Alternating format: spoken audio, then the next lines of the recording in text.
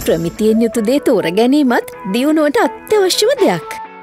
විෂන්කයා විශ්වාසනීය දැක්ම.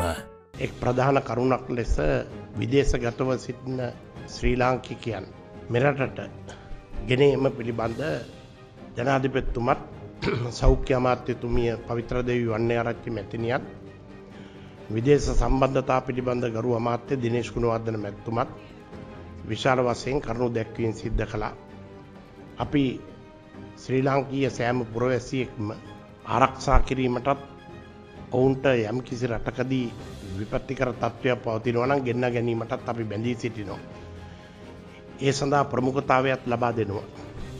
නමුත් පසුගිය කාල පරිච්ඡේදය තුලදී එසේ විදේශයන්නේ පදිංචිව සිට ගෙන්නාගත් ශ්‍රී ලාංකිකයෝ වැඩි දෙනෙක්ට කොරෝනා ආසාධිතයන් බවට පත්වීම නිසා රෝහල් පිරියාමේ හේතුවෙන් තාවකාලික වශයෙන් ඒ ගෙන්නවා ගැනීම ටිකක් පමා කරන්න රජයට සිද්ධ වූ බව සඳහන් කළා. නමුත් සෑම තානාපති කාර්යාලයකින්ම මේ සියලුම ශ්‍රී ලාංකිකයන් පිළිබඳ තොරතුරු නිරන්තරයෙන් විදේශ කටයුතු අමාත්‍යන්සයට වාර්තා ලබා ගන්න අතර සෑම බදාදා දිනකම එකී වාර්තා විශ්ලේෂණය කරලා.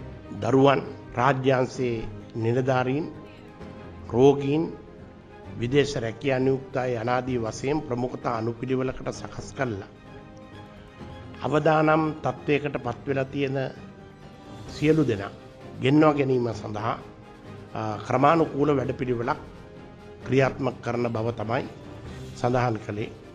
එහිදි විශේෂයෙන් ජනාධිපති කාර්යාලයේත් ඒ විදේශ කටයුතු අමාත්‍යංශය කරන ගෙන්නා ගැනීමේ ක්‍රියාවලියට බරපතල ලෙස මැදිහත් වෙනවා.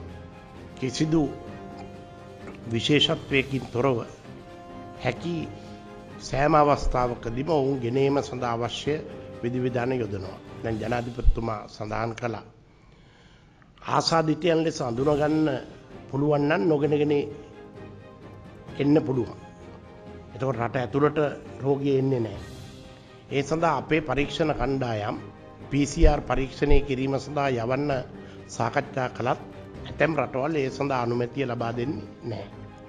සමහර රටවල් ඒ රටවල ගුවන්තොටුපොළ තවම වසලා. අපි කැමති වුණත් ගෙන්න ගන්න ගුවන් යානා යවන්න බෑ.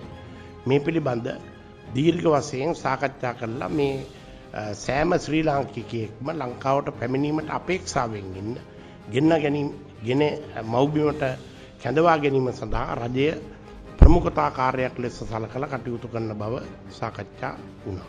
.lk